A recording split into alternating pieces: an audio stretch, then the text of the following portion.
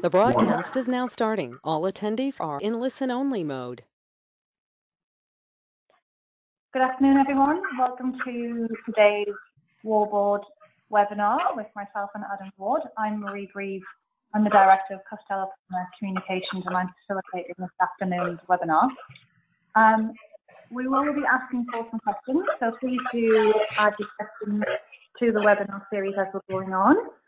Um, and there are some polls that Adam's already set up so that if you want to just contribute who you are, what kind of projects you're working on, what sort of clash detection software or issue management software you're using, it'd be great to let us know and then we can actually pick up on that and perhaps address some of it and give you some guidance and some tips at the end of the session. Um, this is our second Warboard webinar. We're actually going to be doing a series over the next few months just to give you some extra guidance and hints and tips on how to use Warboard. And today's webinar will be set by Adam Ward, who is the Technology Director of Space Group. Adam was actually instrumental in the design and creation of the Warboard platform. And he's pretty much the go-to guy for anything we need to know about how the project and the software actually works. So this afternoon, Adam's going to give you some issue management guidance and show you how to actually make the most of it using your project. So Adam, I'll pass over to you. Thanks, Mary. Um, yeah, so what, what I'm going to cover in this webinar, we already had one webinar about what is Warboard. And in this webinar, we're not really going to touch upon Warboard too much until we get towards the end, and then we'll be loading some stuff into it. But the idea of this webinar is more of a how you use tools like uh, sorry, like Navisworks and Solibri, etc., to manage the issues because Warboard doesn't do that for you. It relies on other tools where you find the issues and you, and you kind of bring them together before you upload them to Warboard.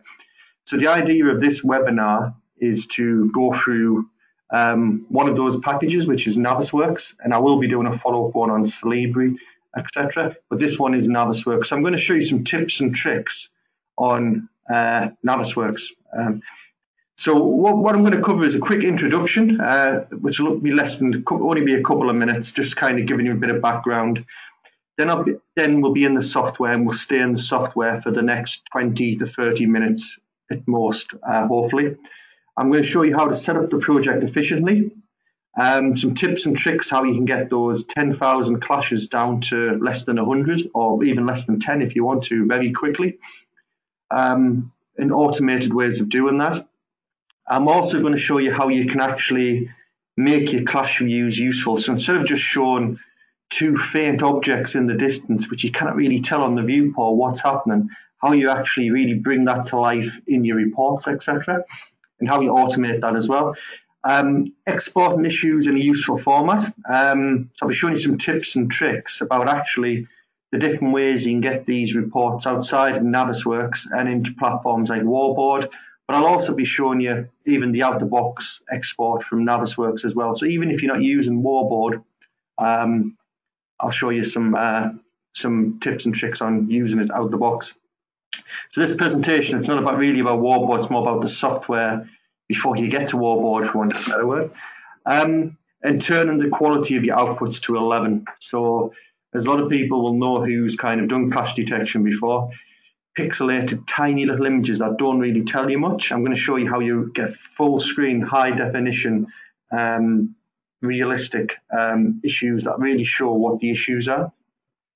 Um, so the introduction is um, Warboard is a tool that's been developed in-house at Space Group our BIM technologies teams, and it's been used on lots of projects, over 32 of them in the last just over a year. Um, so it's tried, tried and tested.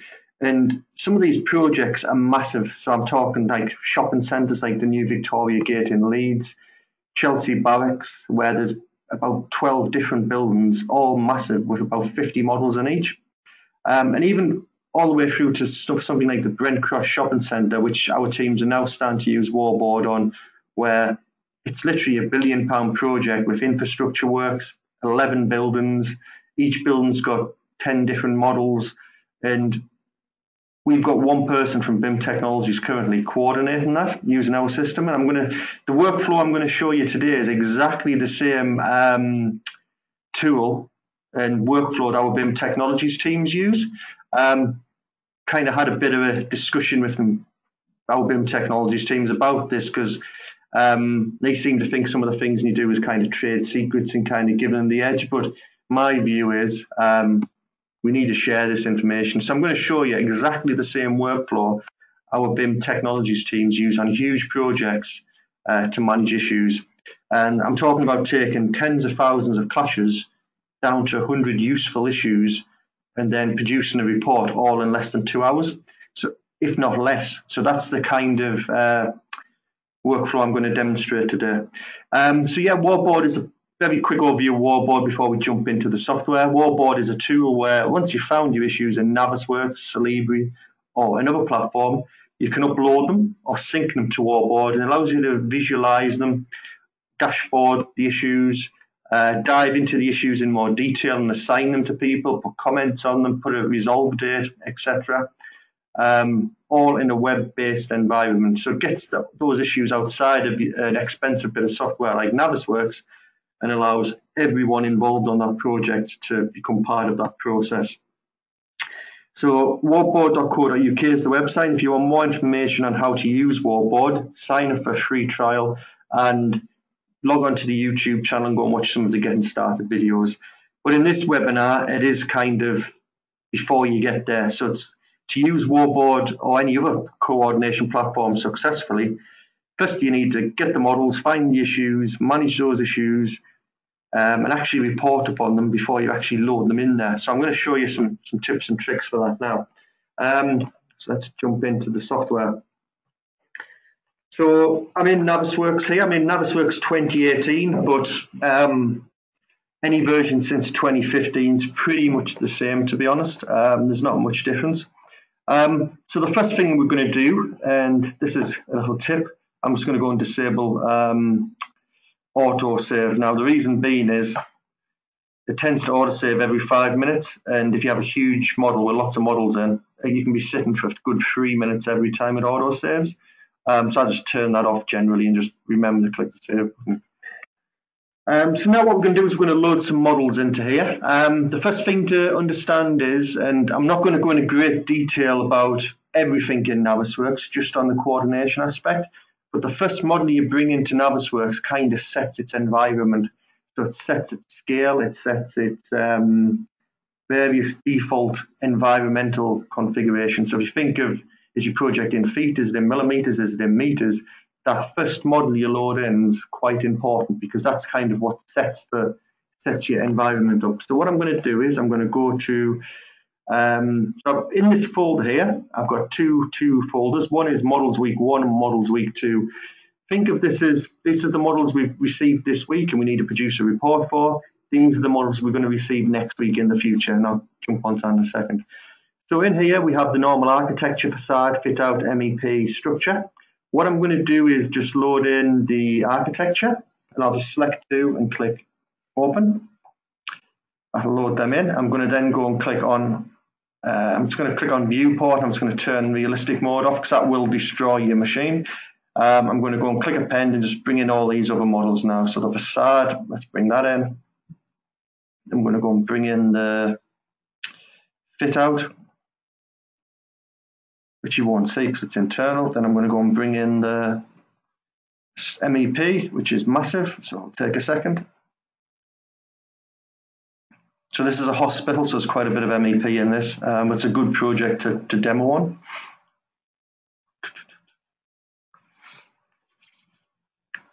I didn't want to use unrealistic um, small models. I want to use real models. So there's the MEP. Now I'm going to load in is the structure. So all these models have been exported from the various different platforms as NWCs. Obviously, you can link in native Revit into Navisworks as well. Wouldn't recommend it. I was always I would always recommend going through the exporter, but it'll accept all sorts of formats in there. So now what we've got is we've got all the models linked in, all in the right place. Um, let's go and have a look around here. Yep, that looks fine. Um, one thing you might notice is on my screen is the graphics look a bit different to the normal out-the-box Navisworks. You look a bit more crisp, a bit more defined. Little tip, if you go into options, if you want to get this same look, and go into display Autodesk, tick this. If you untick this, that's default out the box, which is really good and fast. But if you want it to look a little bit better, just tick that.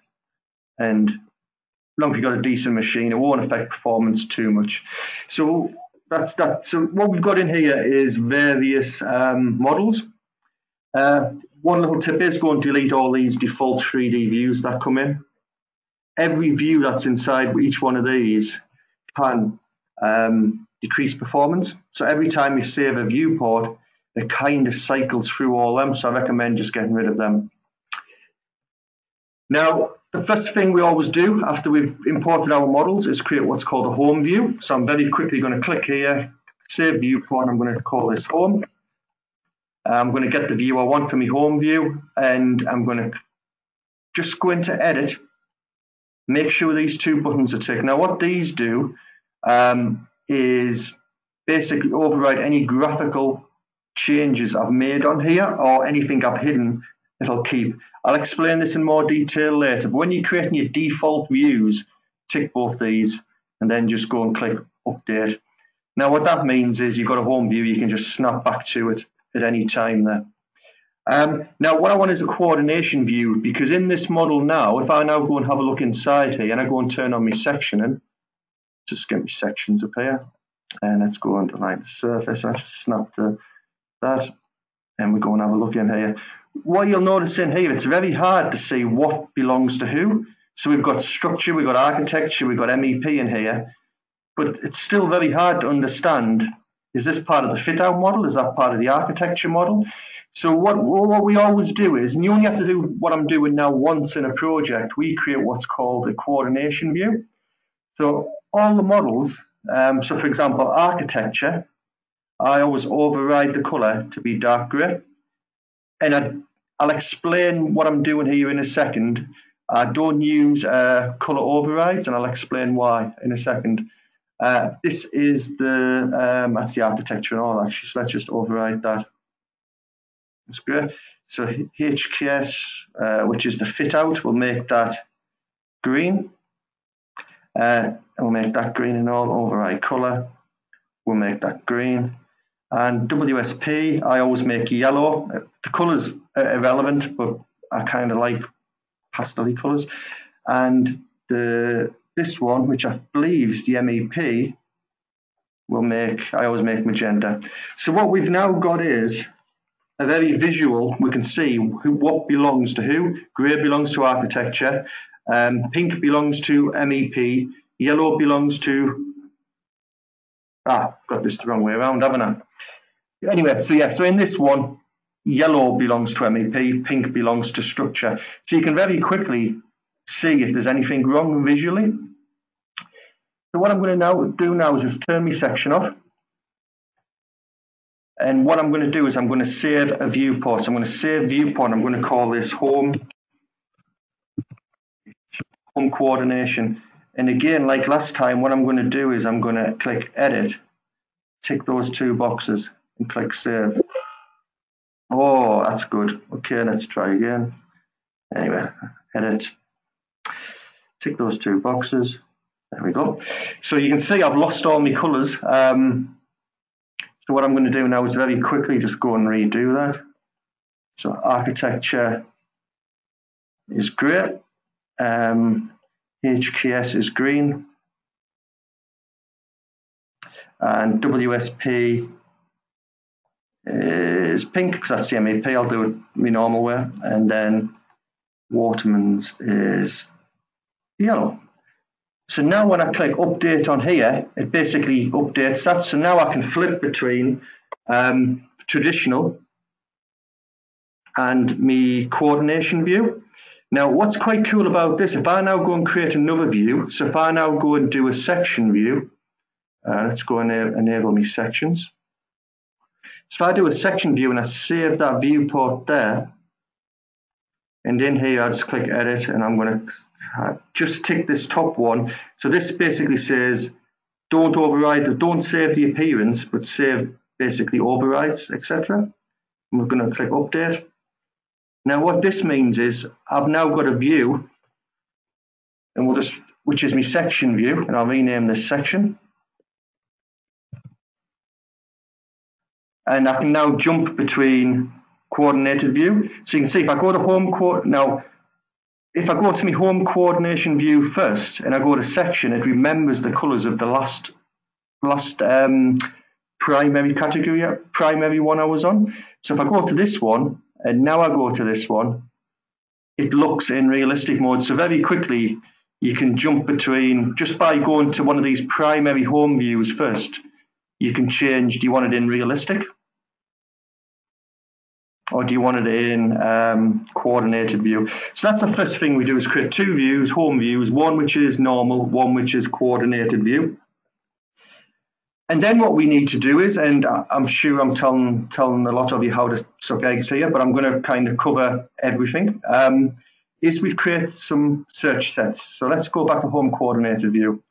Now in this model, um, what I would also do before I do this actually, I would go and create a view for each different um, level. So what we'll do is we'll just go and do that now. I'll open up one I did earlier and let's go to uh, this one. Now remember you only have to do this once. So once you've kind of done this, um, all you're doing is kind of relinking the models every time.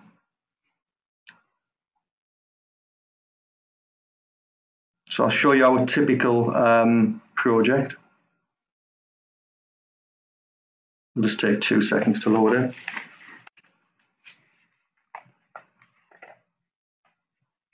So that, that, that's, that's my first tip is understand what that hide overrides button does because it's super powerful once you get to grips with it.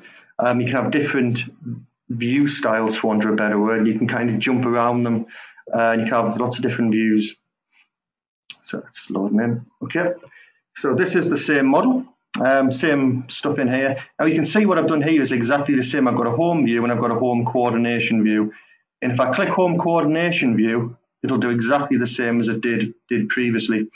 Um, now, the reason I do color overrides on these is on my home coordination view rather than uh, your color, your color um, what it's called now, your color, what does it permanently, is it's really powerful. So what this means is if I wanted to go and see what's what the architects changed since the last time you uploaded this model, everything which goes back to its real world color, you can tell they've changed. So, so you can see on here, I know for a fact this MEP engineer hasn't moved this pink because that's still magenta off last time I changed it. But this element here, which is new, it's white, so I know that's a new element since the last time the models were linked in. So all I do is every time we get new models in, I will literally just go and um, takes two seconds, just go and do this again. Uh, that is override element color gray. And then I will do the same color for pink. That's the MEP, so it'll take a second. Then I do the same for um, case, and then I will do the same for structure. And then what I'll do is I'll just go and update this view. So when, when you first get the new models and you link them in, you can very quickly see what's changed. It's quite quite powerful. Um, but now we need to get to actually doing some clash detection. So let's just wait till my computer catches up. There we go. So once you've set your models up, um, and what I recommend is having kind of spending some time at the beginning of the project to set up a slice for every level.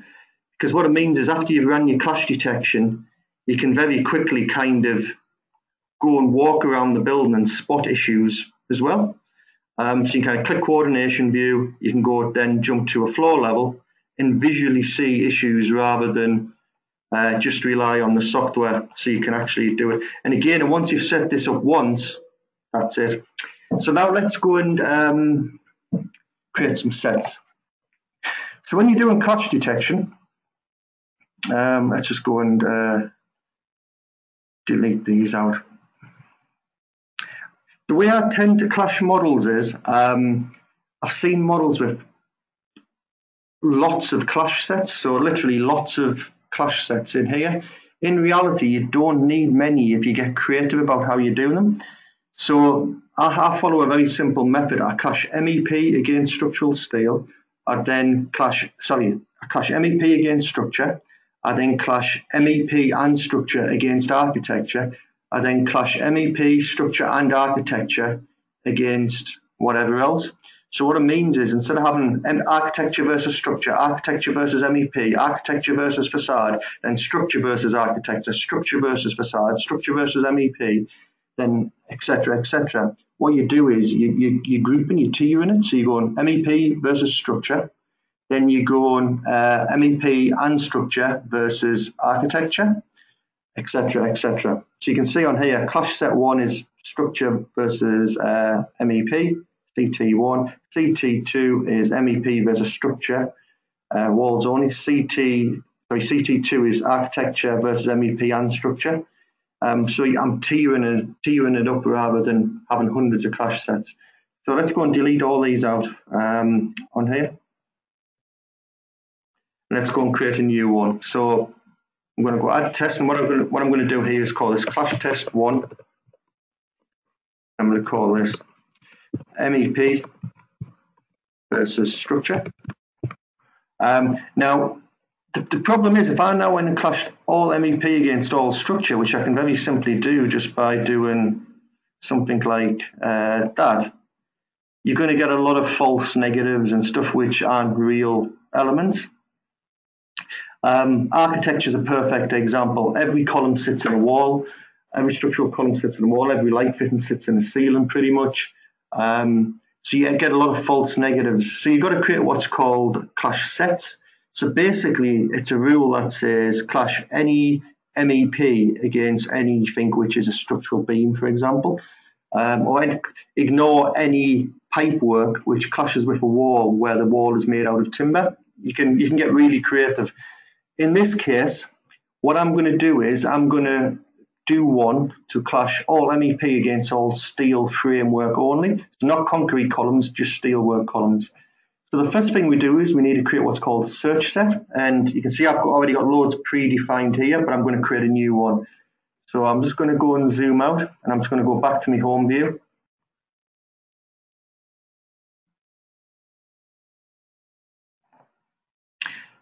Uh, okay, I'll start a section on there. Yeah. So what I'm going to do now is I'm going to create a search set. So I'm going to go, um, right, so I want to look for elements in the, um, what do I want to look in? I want to look in the, in the structural model. And I want stuff which is uh, structural steel. So the best way of doing this, because this where you what you're basically doing in here is digging in the data of the file format. So the best way to do it is to select a bit of steel, go to properties, and generally item type structural framing. So if it's come from Revit, chances are it's item type. Now, if it's an IFC file, you could do it by the IFC object type, but generally item type structural frame. And I, I tend to keep it quite high level. So I'm going to go item type and I'm going to put equals and what I'm going to do in here is put structural frame. Here's a quick tip which will save you a long time if you start typing in here, it doesn't kind of hint, doesn't doesn't kind of do any intelligent. But if you select this drop down and then you start typing, so we start typing structural framing, then what I'm going to do is I'm going to also look for item type equals, and I'm going to select that structural columns. Now, if I search this, it's going to find, click find all, it's not going to find any. The reason being is something can't be a structural framing element and a structural column. So what we're going to do is right click and just put an OR condition. So find anything which is structural framing or a column. Then if I click find all, you'll see it's highlighting all the structural framing elements and columns in my model. And what we would, what I would generally do for each discipline, architecture, structure, and MEP, is go and create these um, search sets. Again, you only need to do this at the beginning of the project and it'll save you a long time when you get new models every week. So what I'm, once you've clicked find and it's found all those items, we can right click in our sets. Now, this is really important. Don't click save selection, always click save search. So the difference is if you click Save set Selection, it's going to select all these elements and just save those as kind of a group. If you click Save Search, it's actually remembering this data. So next time an architect, a structural engineer links a model into this project and he's added another 52 structural columns, they will automatically be picked up because it's creating the groups or the sets via the data rather than via the model. So I'm going to save set and I'm going to call this check and I'm going to call it steel. So what I would generally do is do this for, you can kind of see what here, structural steel, structural concrete, architectural priority elements, which are your doors, your windows, your curtain wall, and your ceilings, etc. Um, so now when we go to clash detective, I'm going to, so MEP versus structure, I want to clash all of MEP against all of um, structural steel. I'm going to put a clash tolerance of 10 mil um, for the moment. We can knock that down later. In fact, let's knock it down a bit. Let's put 5 mil. Generally, I work to 5 mil. Um, MEP versus steel, it should be perfect. If you're doing it against architectural elements, you might want to allow a bit of tolerance. Um, it depends on the project and it depends on um, lots of variables. Every project's different. So once I've created that set, created, just click run test. The software will then go and find all the issues. Now, the problem here is I've found 300 issues. And if I now cycle through these issues, it's really hard to see kind of what the issue is. Even if I use hide view, it doesn't really tell us what this element is or kind of kind of doesn't give us much info. So if you were looking at a report with that, it wouldn't make much sense. So what we do at BIM Technologies is you'll notice in here, we have default clash views. Um, so for example, this is just the same process as I did at the beginning, but it's turning models off. So CT1, for example, all that's in this model, if we zoom out, in this view, sorry, is the structure and the MEP. So because in this clash set one, we're not clashing against architecture, we don't need to look at that. Um, we do that later on. So CT1, it is MEP versus structure. So what it means is before you go to your clash detective, if you just click that button, then go into your clash detective, which I'll do in a second, and then we kind of turn that off. Now it's still a bit difficult to see what's going on there, but it's given us a bit bit better. So the next tip is if you click um, what I always do because you don't want to issue a report with 300 issues or 10,000 issues. I'm going to group all these into one group. Um, now, what this temporarily now what this allows me to do is click hide other and see all those issues in context. Now, what I want to show in my report is that this area here needs coordinating. I don't want to do a, I don't want to do an issue for this, for this, for this, for this, for this, because what's actually could be up to 50 issues is actually technically one issue. This steel works too low. So what you can do, which is quite powerful, um, if you select the elements you want to include, so I'm going to select them. What you can do now is if you click here and click inclusive, what this does is will filter out out of all the issues just the clashes which involve that element. Now what this allows you to do is very quickly do that and create a new group. I'm going to call that um, 001 steel versus um, duct. And then what I'll do is I'll go back in here, just reset that. And you can kind of see that's now, um, that's gone. Click back on there. So do, I will go and find clumps, like there's a good one. We're going to do one more and then I'll kind of move on to the next. Um, I'm used to having on, working on a single monitor. So that's a bad example, that's fine. He's a perfect one. So this here is hitting every beam on the roof. Now you could do a report with four issues on. Um, what I would tend to do here is again select these four, um, select inclusive, and then list those. Actually, there's five issues there. Group, and I'm going to call that 002 um, pipe clashing with all uh, beams on slab edges, all levels. And again, you can go back here, reset your filter so it kind of shows everything. Um, so what you're starting to do is you're starting to pick up these these issues. Now, I will go back to here and I would kind of go and I would literally work through this, picking out, so there I would do all that as one as well, for example. So instead of doing each one individually, I would go and pick these groups. There's another good example of where you could do it all as one. So you go and group them up into issues rather than individual clashes. Um, and if you have any rogue ones left which aren't real issues in here, you can just put kind of review and I'll kind of take all them out. out. So for the sake of this presentation and because we time's getting on a bit, what I'm going to do here is I'm just going to kind of use these two issues as an example.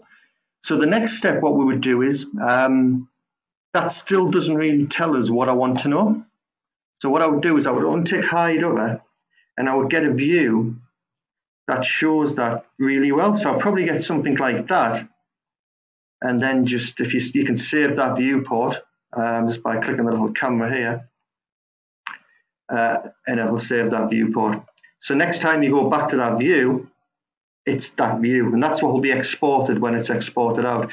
So this one is another good example. It's hard to see anything in there. So if we kind of get a view, I tend to kind of get down below and kind of look up at the problem. Um, so what I would probably want to do on this one is hide the hide the slab because um, you can't really see what's going on in there. So I would get a view like this. And again, what I would have to do if I've done that is go and update this view here. I'll just quickly go and uh, update that. Okay.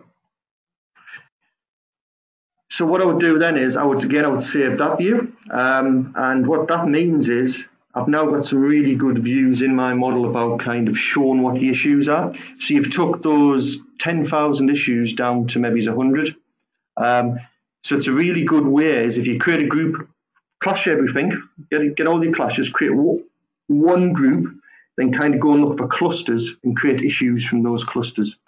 The good thing is this will always stay um, an active issue until every sub-element in that group has been resolved. So don't think you kind of what happens if somebody misses one of these ones in here. That will always be active on you until those sub-elements have been resolved. So again, now can, you can see those two issues I've created have now got decent viewports assigned to them as well. So the, the next step is if I now went to um, report, I want to create a report with these 100 issues. I've only got two, but let's pretend I've got 100. Um, and I would obviously go and create lots of other clash sets, one MEP versus structural slabs, and I'll show you all this in a second, etc., etc. Um, now, what a lot of people do is kind of use the Navisworks out-the-box um, reporting. So what you want to do if you're using this method is group headers only, because you don't want to issue a report for every single sub-instance. You just want the group header. Uh, I'll still export individual ones you have in there, but just, just the headers. Now if I click write report and I go and click create a new folder, um, let's go and create, let's create a folder in here, Navis, Navis report.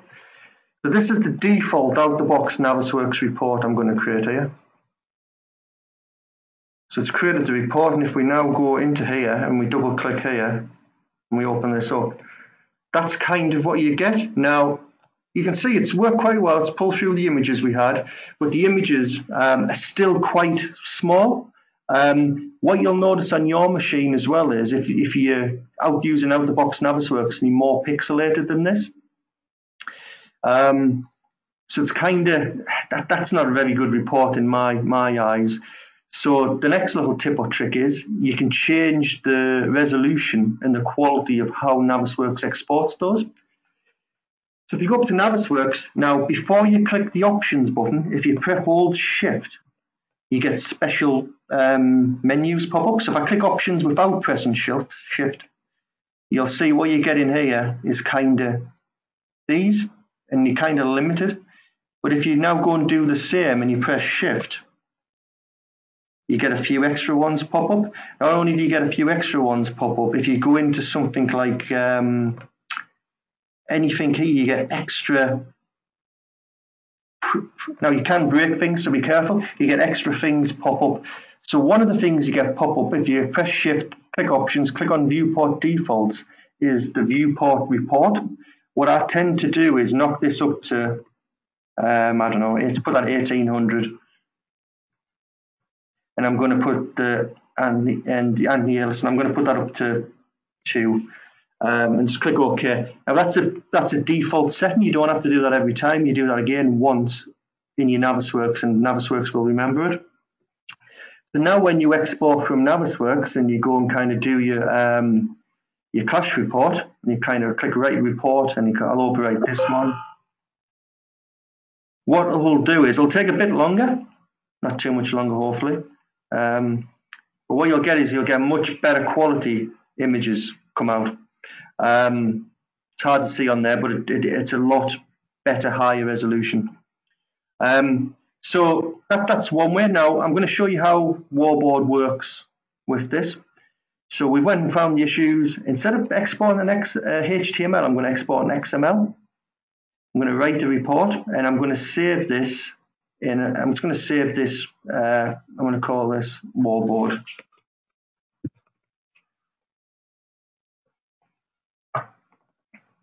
So now if we go and look at that and we go to data drive, um, projects, warboard, and we go to Navisworks report. We've got here, we've got just two bit, let's delete them because that's going to confuse things. That's the old Navisworks. So what warboard will do is if you export an XML, all tests combined, or you can do individual and put them all in one zip, what you get is these two. So basically you get a big um, XML file, which is just a kind of structured data file. And what you also get is a report with all the images in. Um, again, when you export, make sure you have ambient occlusion turned on because it really does bring out these shadows. Um, so now what you do to get this onto Warboard, it's as simple as creating a new zip file. Let's call this Warboard. And I'll just put these two files inside of there and I can go and delete these now. So I've got a zip file with those two files in. Now if I now go to Warboard,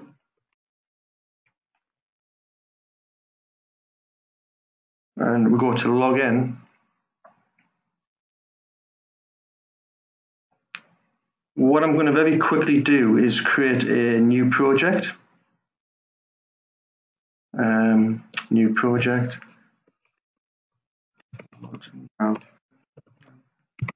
Webinar.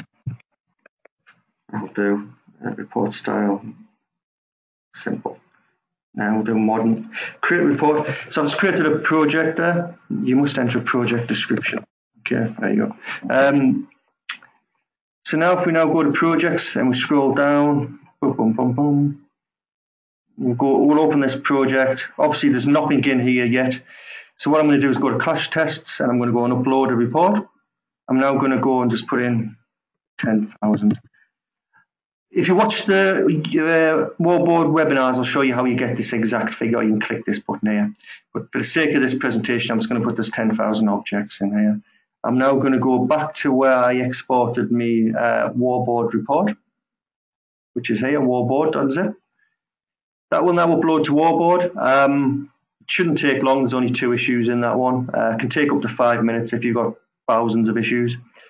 I'll get an email when the report's ready to be reviewed, um, which shouldn't be long. So if I just click refresh, you can see I've now got two new issues. And there won't be any charts till you've done a number of uploads week after week after week, and then you'll start to see new active resolved um, charts coming through. So now if I click on clash tests, you'll see CT1 MEP versus structure. I can now go in and view those issues in more detail. Now, the reason this one's pulled through um, is because, sorry, this one's pulled through is because when I export it from Navisworks, you can see it's put as um, approved manually, basically. I, I, should have unticked reviewed when I did that, and I should have actually had that ticked, um, but never mind. Um, but you can see how it's pulled pulled them through, and you've got proper images. I can now assign it to somebody on the project, put a date it's due, which doesn't exist in Navisworks. I can put comments in, I can add people to this project, etc., etc. Uh, what I can also do is if I click overview, I can click view report. And what I'll get here is a is a report with full-blown uh, images with all that information on there as well. Um, what Warboard will also do, and then I'm going to jump back off Warboard very quickly to finish up, is it will also pull through the actual um, element IDs of the Clash objects, even from groups. So it will pull through the default first one in the tree. So you can still kind of get the element ID if you want to find that in Revit. Or if you want to export the BCF from Warboard and actually locate that in the model, you can do that as well. So I suppose that's that's the basis of my presentation. Um, I'm trying to keep it quite quick and quite um, useful. So what I'm saying is, don't just go into Clash Detective, MEP versus structure and find 10,000 issues. Get creative with your um, Clash sets. Not only that, when you do get 10,000 results back, instead of just exporting thousands of viewports with kind of um, stuff like this, um, kind of like kind of just stuff that's like this and doesn't really t- well it would be kind of like that a box hitting a beam and not telling you exactly much about it actually try to get a view which shows shows the issue and spend the time to do that now because next time when those new models come in you basically just relink in the models and you just um, takes takes half an hour so to set the project up might take you half a day to bring the models in to do all this aspect, etc. But once you've done that, it's it's done. So you can see on this project, what I've done is I've got default clash views for every one of my clash sets. So when I'm in a meeting, for example, CT1, MEP versus structure. Now, if I was in home view and I was wanted to show um, these issues, which I've exported to viewports, I don't know why it does that. Anyway, there we go. So if I now wanted to show these issues here and I clicked on one of these, it's not going to show the same view that's in the report. Now that's because again, I've got to click on this view first. And then after I've clicked on that view, then click on that view. And that just means you get exactly the same image that's in the report. So now click that, click that, it's going to give you the same view. You can also click reset appearance if you want to, which will do the same job. Um, yeah, my computer's been been a bit slow to say the least, but never mind. So that's that's one of the other tr tricks we do because not everybody can use Clash Detective and kind of navigate around issues and click on this before you click on this. So a lot of people just export the viewports. Um, so one of the options in here is you can um, export HTML, export the H, uh, XML, or as viewports, which will, if I write report now, you'll notice over here, in a second, it just created them with those views in as well. So it's very, it's a quick way for people who want to, um, in a meeting, visually visually see that. Um, yeah. So what have I missed? I think I've covered up pretty much the main items. Um, yeah, so that, that's I think that's that's the key. That's the fundamental it.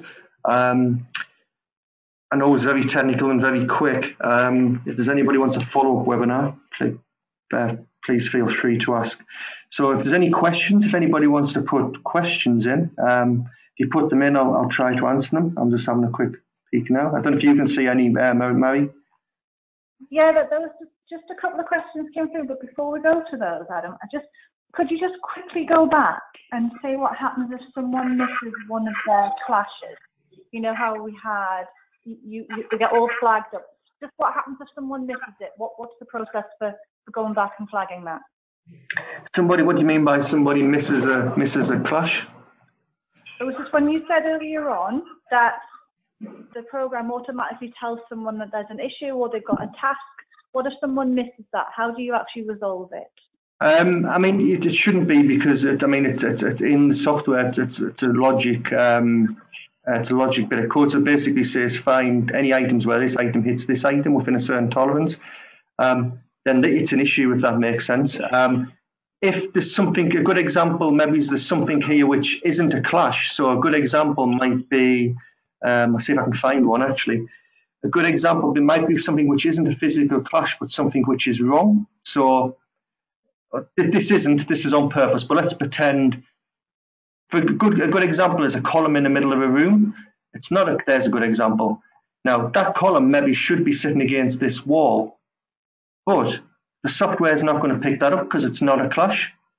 Um, so th this is why in our BIM technologies teams, what we do is we create all these views. And after we've let the software find the clashes, what we do is very quickly kind of walk around the model looking for things which are wrong. And because you've done this color coding um, of the models, it's very quick to spot things. So you can very quickly see if for example, a structural column and an architectural column, column don't align. If that yellow was actually um, sitting like that, then that would very, if anybody who knows what they're looking at, that would spot up ah, there's a problem there.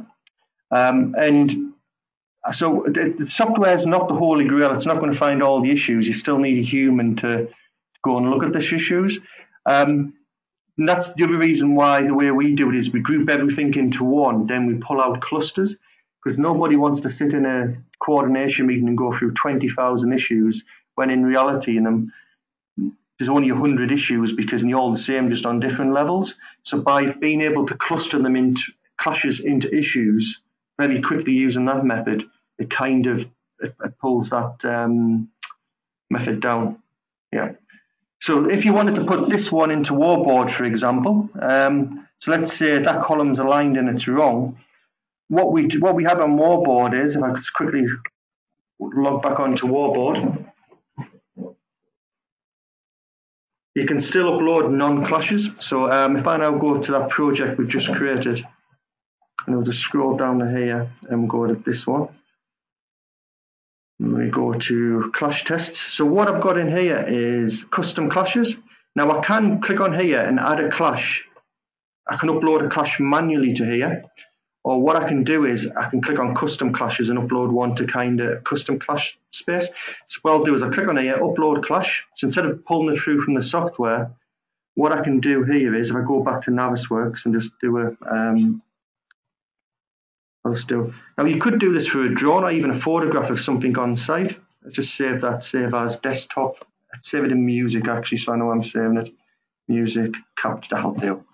Um, so I've just saved that as an image. Now that could be a snapshot of a 2D drone. It could be a photograph from site. So I'm just going to click set clash image, click on music, select that, pick, pick that, uh, 003, uh, column, level ground Click upload. It will then add that to, to Warboard. So now what you'll see, that's been, been added and now it behaves like any other issue on Warboard. And again, if you print your report, um, it comes through there as well. So you can still pick up issues manually if you want to add those issues.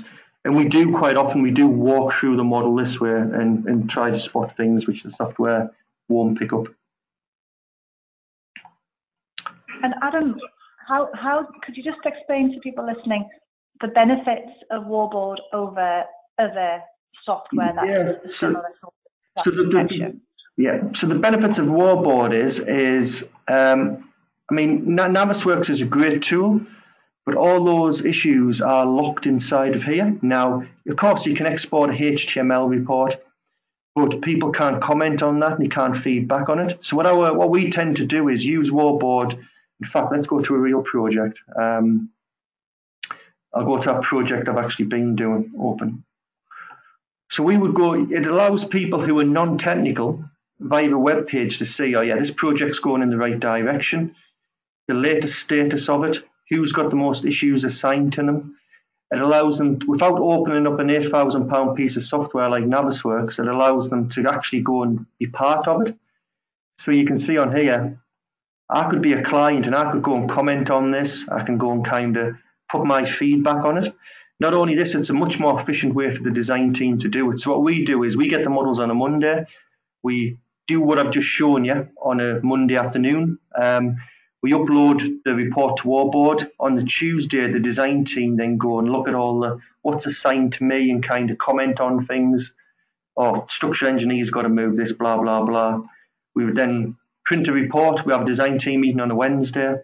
Um, and then two weeks' time, that happens again. Um, next time the new model, the new clashes are uploaded here, if stuff have been resolved, it disappears. So it, it kind of, it's a, it's a way to release all that from outside of Navisworks and make it a really easy to use interface.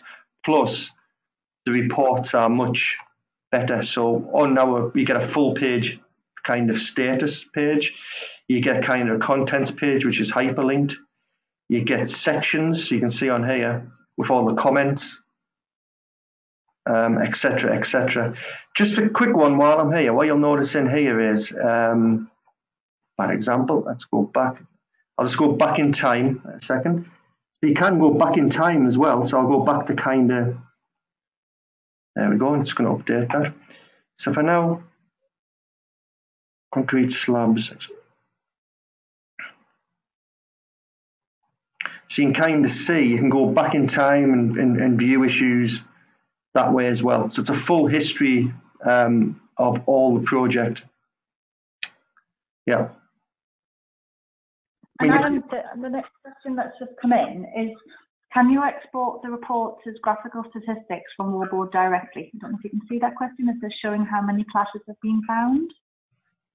Um, from Warboard directly. Um, one second, let's have a look at the question just so I understand this a bit better.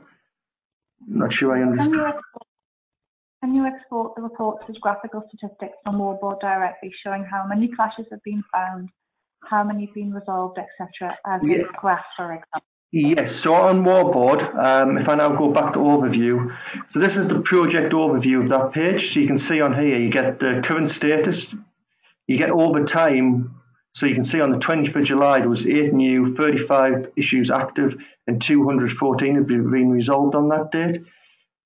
The next week, 222 had been resolved. There was 16 new and 15 active. So you can track over time. You can track how complex, how many elements are in the model, basically. And you can also see the issues, how many's been assigned. So I can see on this model, and this is a test model, so don't, this isn't no criticism of WSP. I can see on here um, WSP have the most outstanding issues assigned to them. Um, and you can see on here issues over time. You get that tabular form. Um, and again, you can go back in time. So exactly like I said before, if I wanted to go back to the very first report that was uploaded, I can do that, and you'll see everything here goes to new because everything was new on the first day it was found.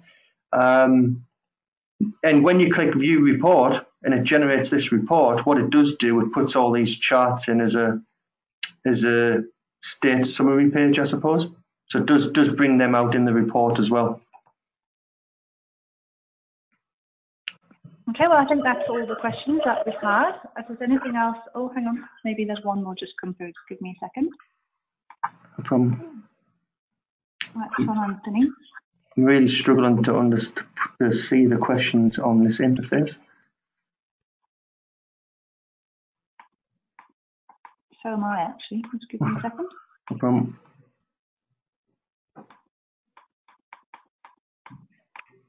Just give me a heads up one thing.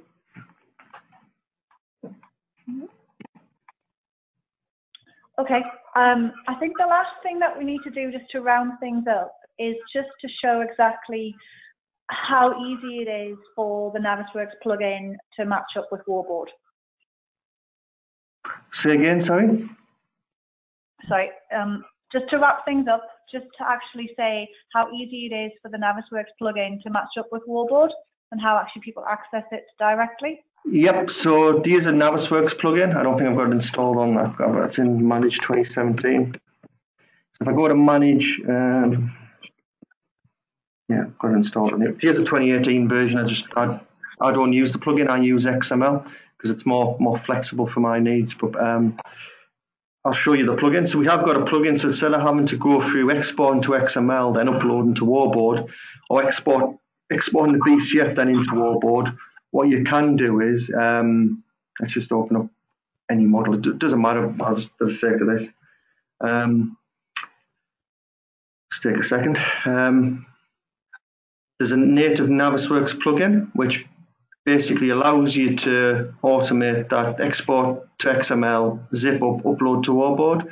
Um, so if I now go to tool add-ins, click Warboard, I'll get a little um, Warboard. And if I log in as me, and I go, um, I think that's my password. Might be wrong. Let's have a go.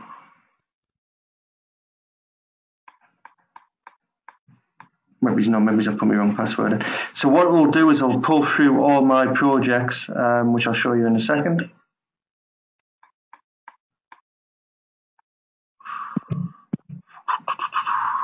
We've actually took this plugin offline temporarily for the moment, just so everyone's aware. If you're trying to get access to it now, it's because we redid it to be a bit more, um, yeah,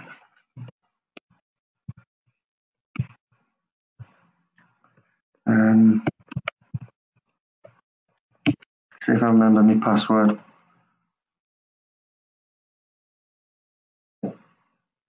I said I never used the Warboard plugin. Um, the reason to, it's probably worth just understanding why I don't use the Warboard plugin. What I tend to get quite a lot on big projects is, as well as you might get individual clashes or uh, issues where you might want hidden mode on, but on the next clash, you want it to be kind of show everything or be semi-transparent. Now, the problem is with um, Navisworks default is you can have one or the other. So you can have hidden, everything hidden, everything dimmed, or kind of everything on, and that applies to the whole set. Uh, what I sometimes do is I'll export each individual one to these individually. And then what I'll do is open side by side and swap out the image. And then when you upload to Warboard, you get the exact view you want for for that um, thing. So yeah, the, the plugins um, been a bit of a pain. Trying to think of my password. One second. Um,